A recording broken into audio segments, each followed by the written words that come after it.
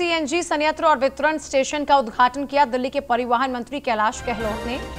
एचसीएनजी trial 50 बसों में अगले छह महीने तक चलेगा। दिल्ली परिवहन मंत्री कैलाश गहलोत राजघाट डिपो में एचसीएनजी संयंत्र और वितरण स्टेशन का उद्घाटन करने पहुँचे। केंद्रीय पेट्रोलियम और प्राकृतिक गैस मंत्री धर्मेंद्र प्रधान भी मौजूद थे। उद्घाटन समारोह में पेट्रोलियम और प्राकृतिक गैस मंत्रालय, दिल्ली परिवहन विभाग, इंडियन ऑयल कॉरपोरेशन लिमिटेड और इंद्रप्रस्थ गैस लिमिटेड के वरिष्ठ अधिकारियों ने इसमें भाग लिया।